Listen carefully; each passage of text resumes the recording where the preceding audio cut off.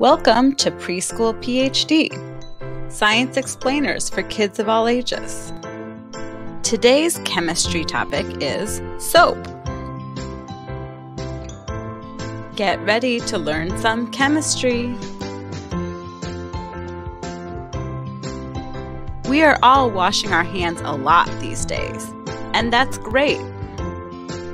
Did you ever wonder why we use soap when we wash our hands?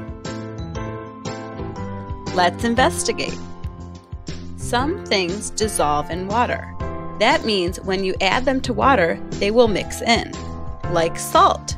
If you add some salt to a glass of water and stir, it will mix in. Salt dissolves in water. But some things do not dissolve in water, like oil. If you add oil to water, it will not dissolve, no matter how much you stir oil does not dissolve in water. So when you are washing your hands, the types of dirt that are like salt and dissolve in water will mix with the water and wash right off. But what about the dirt that's like oil and does not dissolve in water? It won't mix with the water, so it will just stick to your hands and they would stay dirty. Oh no!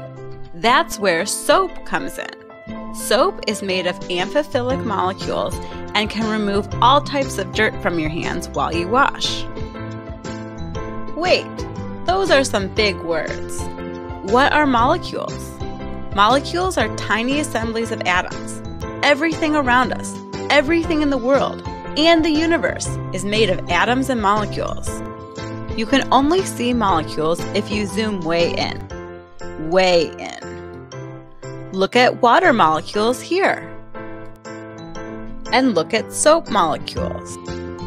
The properties of molecules determine the properties of the substances we interact with. We said that soap was made of amphiphilic molecules. Amphiphilic is a big word that means half of soap will mix with water and half won't. The half of the soap molecule that doesn't mix with water will surround the dirt that also doesn't mix with water. They'll stick together because they are similar.